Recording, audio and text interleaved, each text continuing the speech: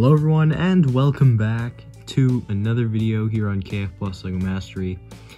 Now, what I have for you today is the V-Twin version 2. Now, if you remember my older V-Twin model, you know that the frame actually extended up and around the cylinders, but that's not actually the case. I guess I have some explaining to do of where I've been and why I haven't been uploading in a couple weeks to explain my absence. I was just taking a break, you know, YouTube. It's a lot of effort to design and work on these engines on a weekly basis and then upload them. So, you know, I just needed a break. But don't worry, I should be back to regular uploading soon enough. Anyway, um, without any further ado, uh, let's get right into running this engine and I'll go over it when I'm done. So without any further ado, uh, let's get right into running the engine.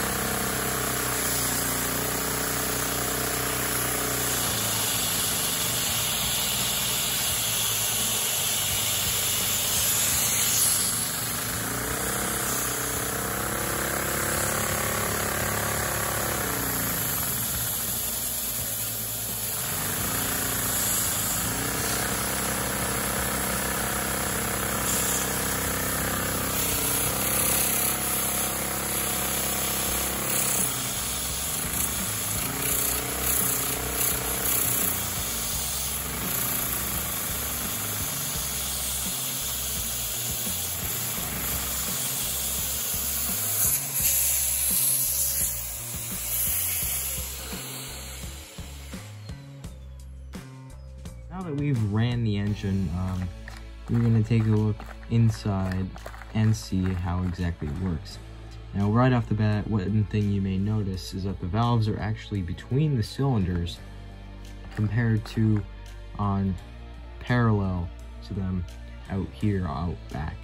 Now the benefits to actually using this type of valve, and I personally call it parallel SVS or parallel single valve system because of the fact that the valves are longitudinally parallel to their own crank, which is, of course, separate to the actual piston crank. But that's basically the valve system that I use, and it's a lot more efficient because it saves space and also makes your um, manifold a lot shorter and easier air distribution, making it, in turn, run a lot faster.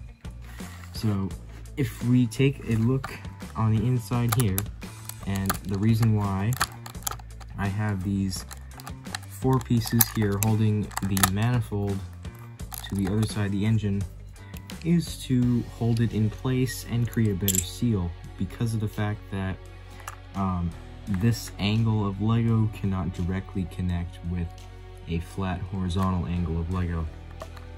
So opening up, as you can see, the valves have their own crank. It is as you can see, the 1.5 um, stud crank pieces.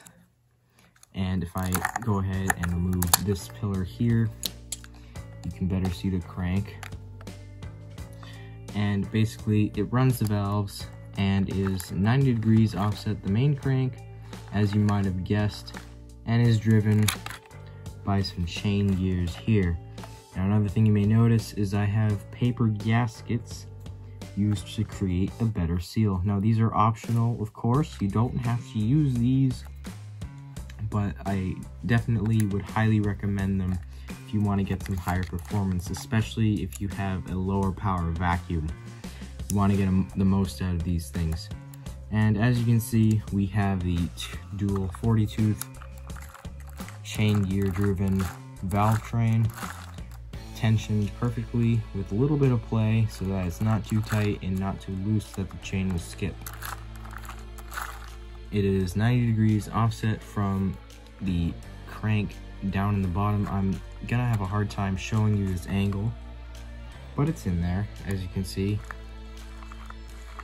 And yeah, the crank arms are a lot longer than you may think. Standard crank arm for this V-twin is actually 11 studs long, in order to reach up to the cylinders and that's because in order to get the best performance we have to have the crank straight up and down compared to farther up on the actual engine block to create optimal performance. I actually have a picture of it and I'll show you it right now of how it will actually benefit your engine. And that's basically the, how it works. Now as for the cylinders, very, very basic stuff. Um, just a standard LVE cylinder, single valve system, exhaust, intake, and it runs in the clockwise direction. Valve comes up, piston goes up, and so on and so forth. V angle for this is pretty much 90 degrees, but um, it's not actually quite because of, the, of the, how this cylinder bank is actually positioned. If you guys want a tutorial for this V-twin, please let me know. I may do one depending on your requests. Oh, I want to do one and I have a new strategy of making tutorials for more complex engines that I hope you'll enjoy. Anyway, that just about wraps up the explanation for this engine. So everyone, um, that's going to just about conclude today's video. As I said, if you do want a tutorial for this engine, I will be willingly making one, as well as coming out soon. Hopefully the next video, I'll be making a butterfly engine tutorial for you guys. And until next time, I hope you all did enjoy, and I will see you all in the next video. See you later.